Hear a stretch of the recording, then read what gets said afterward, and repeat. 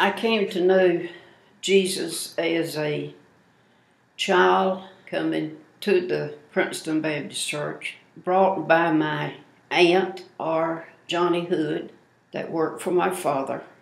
My mother nor my father, neither one were Christians. Johnny Hood would bring us to mm-hmm. Sunday school. And once we got to Sunday school, Aunt Bessie would take over. Vacation Bible school, anything that was in the church, I was involved in it. Aunt Bessie was involved with the WMU.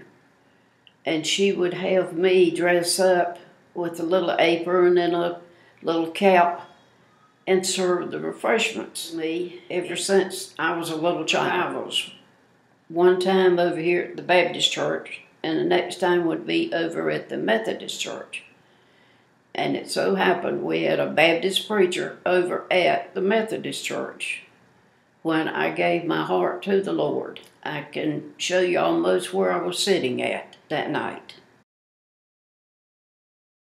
The many programs and the many things that the church has offered to us and was put out there for us to be in. And it encouraged young people Vacation Bible School. Dearly loved it in latter years, even worked as a teacher. Started back when I was little in Sunbeams. I still have a certificate on the wall where I went Sunbeam.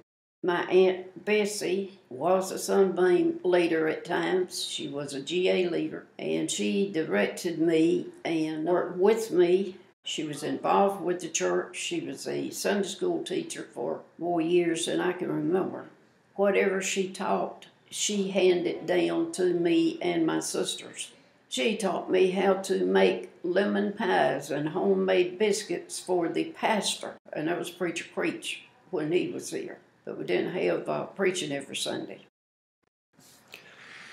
What are some of your earliest memories or your best memories through the years of Princeton Baptist Church? Going to BTU. That was marvelous on Sunday afternoon. There was good teaching and we learned inside, but it was good seeing those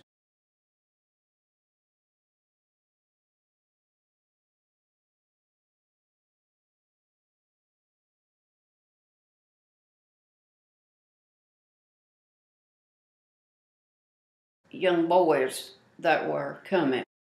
When I was in California, went to many churches. Nothing like the Princeton Baptist Church. And when I got back here, that's the first place I went was back to the Baptist Church. And it has always been my home. Princeton Baptist Church has had a far reaching from uh, Princeton to different areas in the world. When Kelton was in Kenya, I believe, there was the Baptist church working there because he had come from the Baptist church. And it made always made me proud.